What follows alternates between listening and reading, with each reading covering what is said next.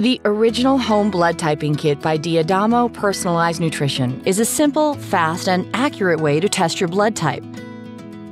Inside the reclosable plastic bag, you'll find everything you need to get started. The instructions show which pattern to look for to identify your blood type at the end of the test, so keep it handy. The first step is to open the silver pouch that contains the Eldon card. This is where you will place the drops of blood and see the reaction.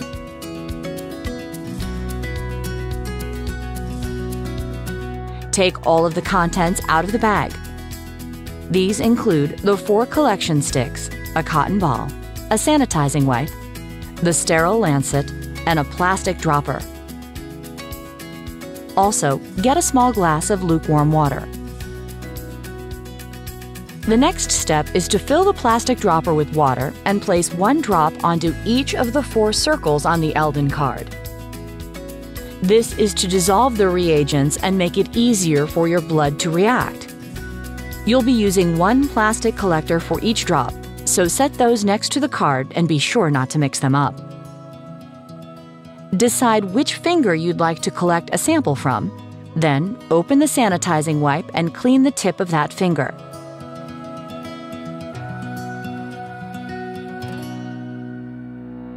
Now take the sterile lancet, holding the base firmly, and twist first, then lightly pull the green cap to remove it. Place the lancet perpendicular to your finger and press down firmly. You will feel it retract and hear a click. Gently massage the finger until a small droplet forms. You just need enough blood to collect and transfer to the card. Place the drop of blood onto one of the four circles and swirl it around for a few seconds, making sure that you get most of the blood off the collection stick. Repeat this for each drop and be sure to spread the reagent blood mixture all the way to the edge of the circle. Again, be very careful not to reuse the same collection stick or mix any of the samples.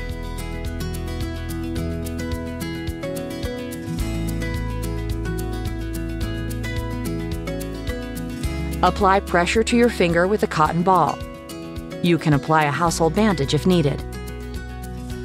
The final step is to rotate the card around in a circular motion, mixing the blood thoroughly with the reagents.